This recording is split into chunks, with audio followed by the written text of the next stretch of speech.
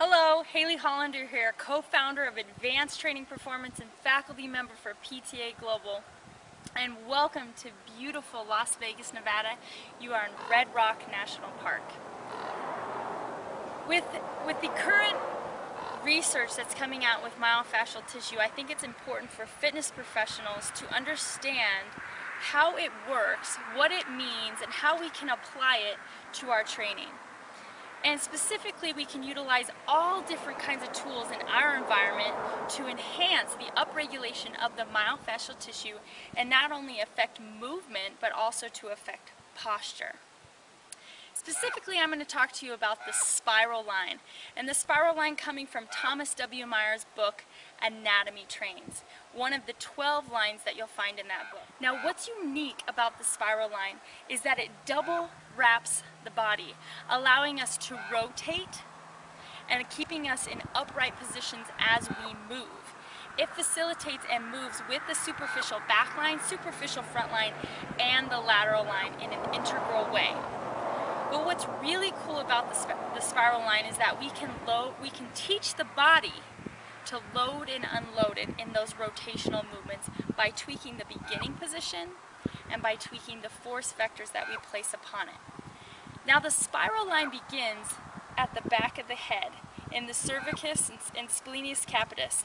As it comes down, it crosses into the opposite side rhomboid. As it comes underneath the scapula into the rib cage in through the serratus anterior.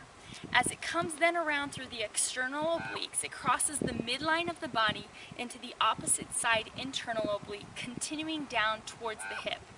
As it hits the hip, it comes in through the tensor fascia latae, through the anterior lateral portion of the iliotibial tract. As it comes to the knee, it goes into the tibialis anterior. What's so great about that, as it comes towards the foot, it hooks the foot into this nice little saddle just as if you were in stirrups on a horse. As it comes around the medial portion of the foot, it comes back up and through the peroneus on the lateral side of the leg. As it comes back up the leg, it crosses up through the, the bicep femoris and the hamstring, crosses the sacrotuberous ligament of the spine, and it continues up the erector spinae. So when it comes to our spiral line in movement, and fascia in particular, what we know in order to upregulate the tissue is that we must respond, we must help it to respond. And in order to do that, we must make our movements slow, subtle, rhythmical, and small. We start to move in planes in different planes of motions that will twist and lengthen that fascial tissue. And once we do that, and we've warmed up the tissue and we've done that, we can then start to add forces, including weight or load, and then we can change the vector or the pull that's on the body. What I'm going to use is I'm going to use three of the most popular tools in the fitness industry that we as fitness professionals use on a daily basis. The TRX suspension trainer, the ViPR, and the RIP trainer and I'm going to show you a mobilizer or a movement that we can do to upregulate the tissues to get it warmed up. And then I'm going to show you how we can use that same tool to load the body and get a different response within the spiral line. Now what's great about the spiral line and, in that it, it starts at the back of the head is that I can basically upregulate it just by turning my head and using my head as a driver to begin to lengthen the tissue. And then we know, hey, there's a point of contact with the ground. So I can also change the beginning position of my feet to upregulate that part of the line as well. So what I'm going to do is I'm going to stand in an L, X, I position with the foot internally rotated so that I can lengthen through that peroneal of the right leg. I'm going to have the ViPR out in front of me and I'm just going to begin by turning the head to the left from here and this starts to upregulate that spiral line. Now once I turn the head to the left, I can then begin to rotate my trunk to the left as well, loading through that external and internal oblique of the spiral line, making sure to keep the knees nice and soft. As I do this, I can feel my right foot pronating and lengthening through that lateral side of my lower leg. Now what I can do is I can begin to add hip flexion into the movement. Because if you recall, as you come up the back of the leg, that bicep femoris and the erector spinae are involved in the spiral line as well. So as I add hip flexion, the ViPR becomes a driver and it's taking me over into that rotated position in loading the line. Now let's say I wanted to add load. Now I can utilize the different grip and hand positions on the ViPR. This being a neutral grip, obviously the closer that I grab, the less weight or the less load that's pulling away from my body. So from here I can again begin in that LXI position and I can facilitate the movement now with load, working on strength and driving that right hand across the body. Bending into the knees. If I want to make this movement a little more challenging, add more weight, change the vector, change the point of application, the line of pull, I can change my grip on the ViPR itself, and now I have a longer lever driving away from the body and facilitating that load in the back of the spiral line. The next thing I could do is I could change the elevation of my rotation with the ViPR.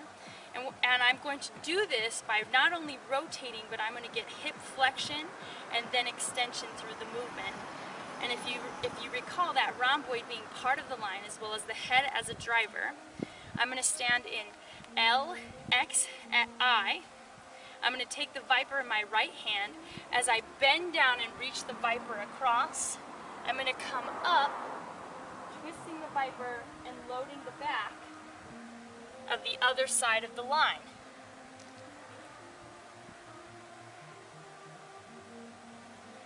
So now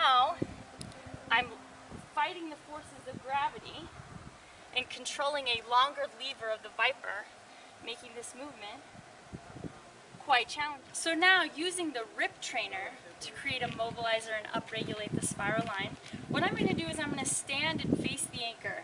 Now with the rip trainer it's creating an asymmetrical load in the body, so I'm already resisting rotation.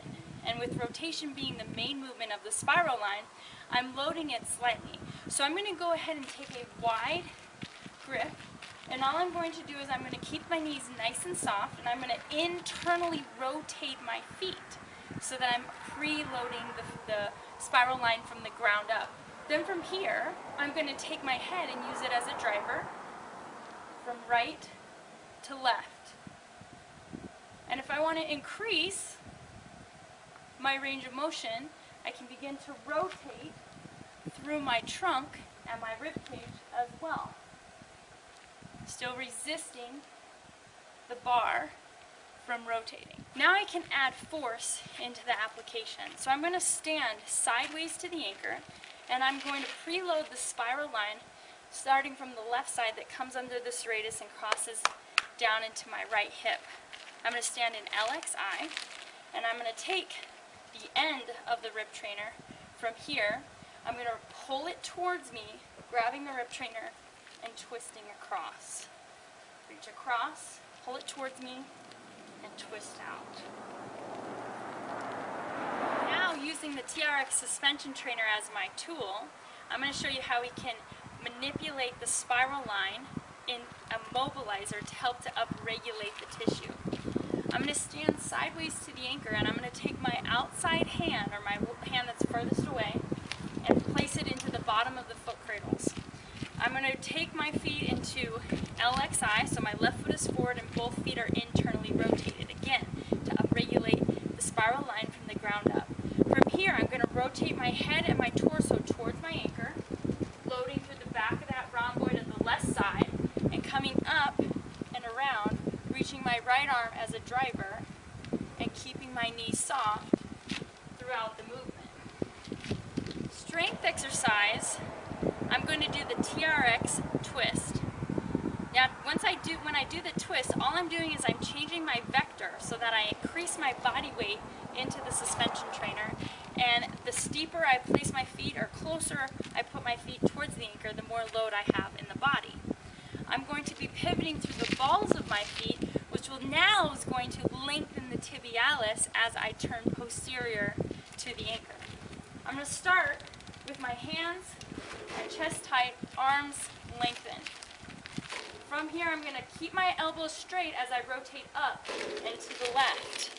pivoting through the balls of the feet and loading into that spiral line and slowly coming down underneath my hands, keeping the elbows nice and straight. So once more, the importance of fascia in the body and how to apply it to your exercise is going to dictate what's the goal, what is the goal of your client that you're working with. What is their current posture and what is their current level of fitness? So play with those tools that you have. Start with slow, subtle movements to upregulate the tissue and do it in ways that will load and unload those lines. Thank you.